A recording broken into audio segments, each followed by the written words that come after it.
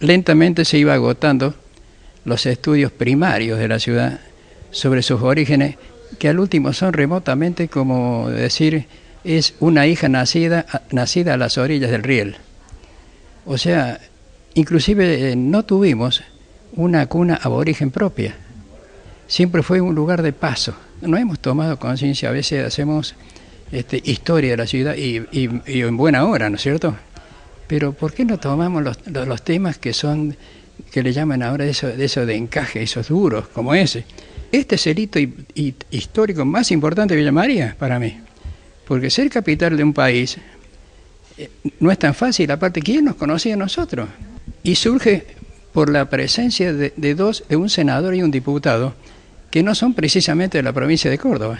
Yo creo que la definición que tienen en aquel momento los senadores que presentan el proyecto y quienes lo fundamentan, plantean fundamentalmente la visión de una eh, acción geopolítica y geoestratégica que tiene como eje esta región. Creo que marca claramente el desarrollo geopolítico de una sociedad que estaba emergiendo y que tenía contradicciones en la base misma de su propio eh, desarrollo institucional. El mismo presidente que pensó que la capital tenía que tener este, un, desarrollo en el interior fue el que después terminó vetando la ley. ¿no? En mis libros, yo tengo varios libros ya hechos, en general es mensaje. O sea, yo no abro juicio de valor sobre lo que no conozco. Puedo, hago análisis así, pero ahí lo que pienso, pero no contra, no abrir un juicio de valor contra eso que está escrito, pero que es original. Van directamente a la fuente. Tienen algunas cositas que yo he tomado este, para hacer un poco más ameno, como este, que es un libro ácido, pero que te deja todo. este tiene todos los complementos y requisitos que vos necesites en ese tamaño para saber por qué Villa María fue elegida.